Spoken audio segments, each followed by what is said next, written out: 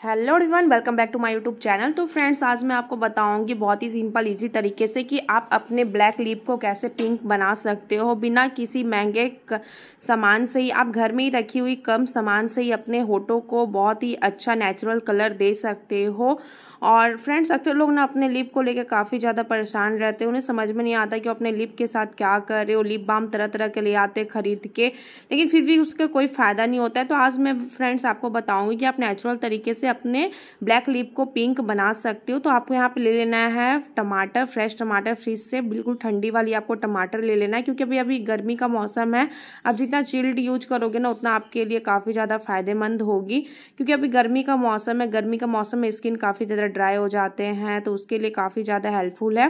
तो यहाँ पे आप देख सकते हो बिल्कुल रस वाली आपको टमाटर ले लेना है और यहाँ मैंने अच्छे से इसे दो भागों में काट दिया है। तो आपको अब एक को साइड कर देना अब एक में आपको यहाँ पर आप देख सकते हो बिल्कुल जूसी वाला आपको टमाटर लेना ये हमारे ना लिप को पिंक बनाने में काफ़ी ज़्यादा हेल्प करेगा।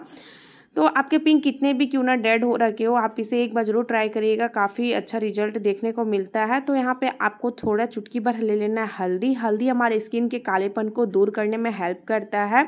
स्किन के काले दाग धब्बे जो भी होते हैं ना, लिप के साइड साइड में जितने भी कालेपन है, सबको मिनटों में दूर करेगा। अब यहाँ पर ले लेना है क्रिस्टल वाली चीनी।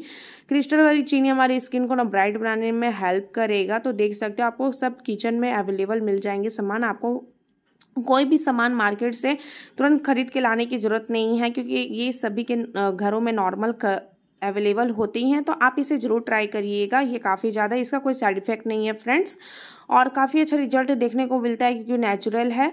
तो यहाँ पे अच्छे से हमने इसे नाइफ़ के हेल्प से इसे बिल्कुल जूसी में बिल्कुल कन्वर्ट कर देना है, बिल्कुल अच्छे से मेल्ट हो जाना चाहिए, ताकि हमारे लिप में अच्छे से मसाज हो जाए। तो इसे हम ना दो मिनट के लिए फ्रीज में रख देना है।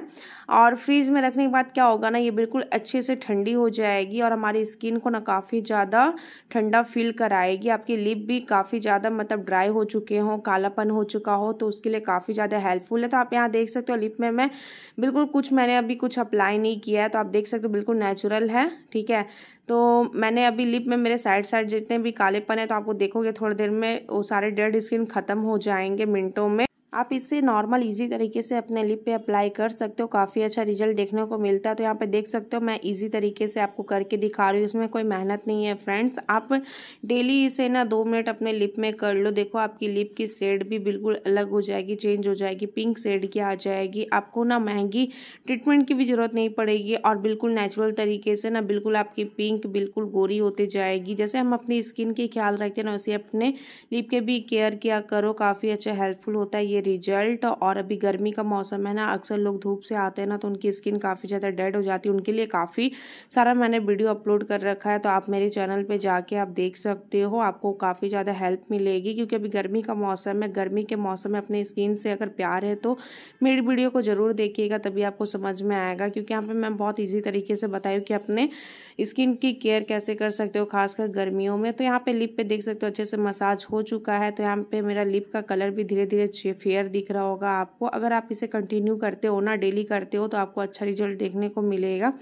तो यहाँ पे देख सकते हो लिप अच्छे से मेरा मसाज हो चुका है। साइड साइड आपको हल्के हल्के हाथों से मसाज कर लेना है।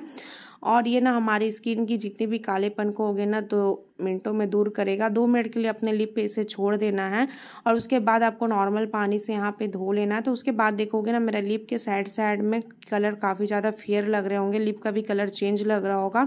उसके बाद आपको ना अपने लिप में वैसलिन लगा लेना। आप कोई सा भी आप इसे अप्लाई कर सकते हो। तो यहाँ पर मैं वैसलिन, व्हाइट वाली वैसलिन ले रही हूँ। इसे हल्के हल्के लिप में ले कर मसाज कर लेना है। तो इसे हमारी लिप, आप अपने लिप को अच्छे से केयर करो क्योंकि हमारी स्किन को ना पर्सनैलिटी ख़राब हो जाती है। अगर लिप अगर डैमेज हो तो आप मेरी वीडियो अगर थोड़ी सी भी अच्छी लगती है तो प्लीज़ एक लाइक ज़रूर करिएगा, मेरे चैनल को सब्सक्राइब, शेयर करिए, ढेर सारा प्यार दीजिए।